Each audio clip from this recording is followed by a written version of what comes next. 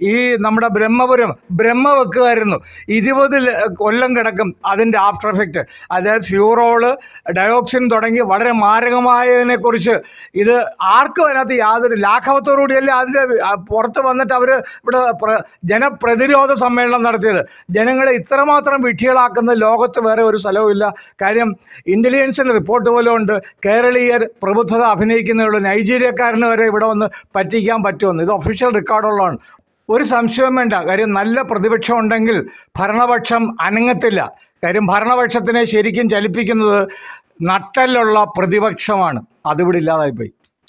കാലാകാലങ്ങളോടുള്ള ഈ സമ്പ്രദായം കേരളത്തിൽ മാറണം എന്നാണ് ജനങ്ങളുടെ ആവശ്യം കേട്ടോ ശരിക്കും. കാരണം ഭരണപക്ഷം പ്രതിപക്ഷം എന്നൊരു വിഭാഗത്തിനെ തന്നെ കേരളം സൃഷ്ടിച്ചിരിക്കുകയാണ്. അവർ തന്നെ കൈകാര്യം ചെയ്തുകൊണ്ട് പോകുന്ന ഒരു അവസ്ഥ സാധാരണക്കാരൻ എന്നും സാധാരണക്കാരൻ പാവപ്പെട്ടവൻ എന്നും പാവപ്പെട്ടവരൻ. അത് ഒരു മാറ്റമില്ലാണ്ട് കേരളത്തിൽ ഇന്നും തുടർന്നുകൊണ്ട് പോയിട്ടുണ്ടോ ശരിക്കും. ബ്രഹ്മപുരമൊക്കെ എടുത്ത് നോക്കിയാൽ അറിയാം ഭരണപക്ഷത്തിന് ഇവിടെ ഇന്ത്യ റിപ്പോർട്ട് എല്ലാ കാര്യങ്ങളും കിട്ടിയിട്ട് പോലും പ്രതിപക്ഷത്തിന് അതിനെ പ്രതിരോധിക്കാൻ പോലും പറ്റിയില്ല. ശരിക്കും വിദേശ രാജ്യങ്ങളിലൊക്കെ ആണെങ്കിൽ ഇങ്ങനെ ഒരു സംഭവം നടക്കണമെങ്കിൽ എന്തൊക്കെ പ്രശ്നങ്ങൾ ഉണ്ടാവുമെന്ന് ചിന്തിച്ചോ? നേരെ മറിച്ച് ഇവിടെ വലതുപക്ഷമാണ് ഭരിക്കണമെങ്കിൽ ഇടതുപക്ഷം ഇതിനെ എങ്ങനെ നേരിടും എന്നും കൂടി ചിന്തിച്ചോ? ശരിയല്ലേ? അഞ്ഞൂറ് കോടി രൂപയുടെ മുതലാണ് അവർ അങ്ങോട്ട് കാശ് സർക്കാരിൽ നിന്ന് നികുതി പണം അടപ്പിച്ചിട്ട് ഈ ചെയ്യിക്കുന്നത്. അത് ശരിക്കും അതിന്റെ വളം ലെഗസി എന്നൊക്കെ ഇവർ പേരിട്ടിട്ടുണ്ട്. മുപ്പത് വർഷത്തെ ആ വളം മാത്രം വിറ്റാൽ സംസ്ഥാനത്തിന് അഞ്ഞൂറ് കോടി രൂപ കിട്ടില്ല. അഞ്ഞൂറ് കോടി. ഒരു സംശയവും വേണ്ട. ആ സാധനത്തിനെയാണ് ഇവരിങ്ങനെ മനുഷ്യനെ നശിപ്പിക്കാനുള്ള ബോംബാക്കിയിരിക്കുന്നത്. ഇതിനൊക്കെ എന്താ പറയുക? ജനങ്ങൾ ജനങ്ങൾ തിരിച്ചറിയണം. പ്രതികരിക്കേണ്ട സമയമായി. പ്രതികരിക്കണം. ഓരോന്നിനായിട്ട്. കാര്യം ജനങ്ങൾ പ്രതികരിച്ചാൽ തീരാത്ത ഒരു പ്രശ്നവും ലോകത്തെങ്ങുമില്ല. നിങ്ങൾ ചരിത്രം പഠിക്കുക. ഇതൊന്നും ഇവർക്ക് പെർമനന്റായിട്ട് കൊടുത്തേക്കുന്ന അങ്ങോട്ടും ഇങ്ങോട്ടും അഡ്ജസ്റ്റ്മെന്റ് ചെയ്യാനുള്ള ഒരു കസേരയൊന്നും അല്ല അസംബ്ലി. പാർലമെന്റ് അസംബ്ലിയൊക്കെ ജനങ്ങളുടെ ആവശ്യങ്ങൾ നിറവേറ്റാനുള്ളവരാണ് ഇവർ ഇരുപത്തയ്യായിരം പിന്നെ രാഷ്ട്രീയക്കാരും അഞ്ച് ലക്ഷം സർക്കാർ ഗുണ്ടകളോട് ചേർന്ന് മൂന്നര കോടി വരുന്ന ജനങ്ങളെ ചമ്മട്ടിക്ക് അടിക്കുകയാണ് എന്റെ ജനങ്ങളെ. നിങ്ങൾ തിരിച്ചറിയൂ. സത്യം പറഞ്ഞാൽ കേരളത്തിനൊരു പ്രതിപക്ഷം ഉണ്ടോ എന്ന് വേണമെങ്കിൽ നമുക്ക് സംശയിക്കേണ്ടിയിരിക്കുന്ന ഒരു കാലഘട്ടത്തിലൂടെയാണ് കടന്നു പോകുന്നത് കാരണം ഇവിടെ ഭരണപക്ഷം ചെയ്യുന്ന പല പ്രവൃത്തികളും പ്രതിപക്ഷം അറിയണില്ല എന്നതാണ്.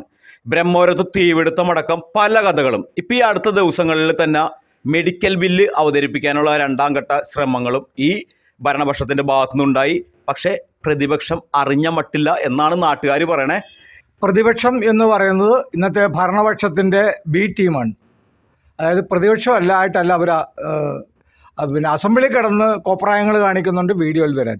പക്ഷേ സത്യസന്ധമായിട്ട് പറഞ്ഞു കഴിഞ്ഞാൽ ഈ ഭരണപക്ഷത്തിനെക്കാട്ടി നീചവും നാണം കെട്ട പ്രവൃത്തിയാണ് ജനങ്ങളോട് ഇവർ ചെയ്യുന്നത്. എണ്ണി എണ്ണി ഞാൻ ഓരോന്നായിട്ട് പറയും. ഈ കണ്ടോൺമെന്റ് ഹൗസിൽ സതീഷിന്റെ അടുത്ത് പോയിട്ട് ഈ പിന്നെ ബില്ലിനെക്കുറിച്ച് കൃത്യമായിട്ട് എൽ കെ ജി കുട്ടികൾക്ക് ക്ലാസ് എടുക്കുന്ന കണക്ക് ഞങ്ങളുടെ ഈ ആയുഷ് ഐക്യവേദിയുടെ ആളുകൾ ചെന്നിരുന്ന് ക്ലാസ് എടുത്ത് ഇത്രയും ഭീകരമാണ് ദുരൂഹതയുണ്ട്. ഇതിന്റെ പ്രശ്നം ജനങ്ങൾക്കാണ്.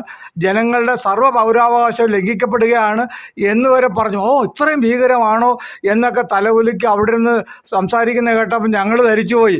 ഞങ്ങളെക്കാട്ടി കൂടുതൽ ഈ പ്രശ്നം ഉൾക്കൊണ്ടിട്ടുണ്ടല്ലോ. ഇദ്ദേഹം ഒരു ജനങ്ങളുടെ നേതാവായിരിക്കുമല്ലോ പക്ഷേ സത്യത്തിൽ ഇപ്പോഴും ഞാൻ സംശയിക്കുന്നു അദ്ദേഹം ഭരണപക്ഷത്തിന്റെ ബി ടീം തന്നെയാണ് എന്നാണ്. കാരണം നിങ്ങൾക്കറിയാമോ ആ കാണാച്ചരലുള്ള ഈ ബില്ല് വന്നു കഴിഞ്ഞാൽ സർവജനങ്ങളിലും ആശാവർക്കറുടെ മുമ്പിൽ പോലും കുനിഞ്ഞു നിൽക്കേണ്ടി വരും. അലോപ്പതി ഡോക്ടർക്ക് മാത്രമായിട്ട് നീട്ടൂരെഴുതി കൊടുക്കുകയാണ്. ഇത് യു എനിലെ ഡബ്ല്യു എച്ച് ഒയുടെ വേൾഡ് അജണ്ടയാണ്. അതായത് ബയോ വെപ്പണിൽ കൂടെ ഏത് നിമിഷവും നിങ്ങളുടെ രാജ്യത്ത് കടന്നു കയറാനും അവിടെ എമർജൻസി പ്രഖ്യാപിക്കാനുമുള്ള വളരെ ഭീകരമായ ഒരു ഒരു കാര്യം ഇതിനകത്ത് കിടപ്പുണ്ട്. അത് പാവപ്പെട്ട ജനങ്ങൾക്കറിയില്ല. അത് പറഞ്ഞു കൊടുക്കേണ്ട പ്രതിനിധികളെല്ലാം ഇവർ സെലക്ട് കമ്മിറ്റിയൊക്കെ ഉണ്ടാക്കിയ പല പ്രഹസനങ്ങളും. അതായത് ഈ നമ്മുടെ പിന്നെ ആരോഗ്യമന്ത്രി അവരുടെ നേതൃത്വത്തിൽ നാലഞ്ച് തവണ പല സ്ഥലത്തായിട്ട് ലക്ഷക്കണക്കിന് തുക മുടിച്ച് മുടിച്ച് വളരെ ആളുകളെ വിളിച്ചിരുത്തി ക്ലാസ്സുകൾ എടുക്കുകയും നമ്മളുടെ ജനങ്ങളുടെ വികാരങ്ങൾ ഡോക്ടേഴ്സ് വഴിയൊക്കെ അവർ ധരിപ്പിക്കുകയും ചെയ്താണ് പക്ഷേ അന്നൊക്കെ അവർ തലകുലിക്ക് വളരെ സുസ്മേരവതയായിട്ട് സംസാരിക്കുകയും അതിനുശേഷം നാട്ടുകാർക്ക് ബർമ വെക്കുന്ന രീതി കൊണ്ടാണ് ഈ ബില്ല് വന്നു കഴിഞ്ഞു കഴിഞ്ഞാൽ ഇവിടുത്തെ സർവ ചികിത്സകളും ഇവിടുത്തെ നാട്ടുകാർക്കാണ് നിഷേധിക്കപ്പെടുന്നത്.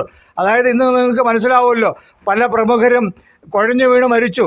പലരും ഇന്ന് ആശുപത്രിയിലാണ്. വെറും അഞ്ച് രൂപയുടെ കീഴാർനെല്ലി കൊണ്ട് തീരുന്ന ഈ അസുഖങ്ങൾ അമ്പത് ലക്ഷം അമ്പത് കോടിക്കും കരൾ മാറ്റിവെക്കൽ വരെ കാര്യങ്ങളിലേക്ക് എത്തിയിരിക്കുകയാണ്. ഇതൊരു ശരിയായ നടപടിക്രമം അല്ല ജനങ്ങളെ നിങ്ങളെങ്കിലും പ്രതികരിക്കുക. ശരിക്കും ഇവിടെ കാലാകാലങ്ങളായിട്ട് നടന്നു വന്ന ഒരു ഒരു സമ്പ്രദായമാണ്. ഒരു ഭരണപക്ഷം മാറുമ്പോൾ പ്രതിപക്ഷം മറ്റേ പ്രതിപക്ഷ നേതാവും മുഖ്യമന്ത്രിയാവും.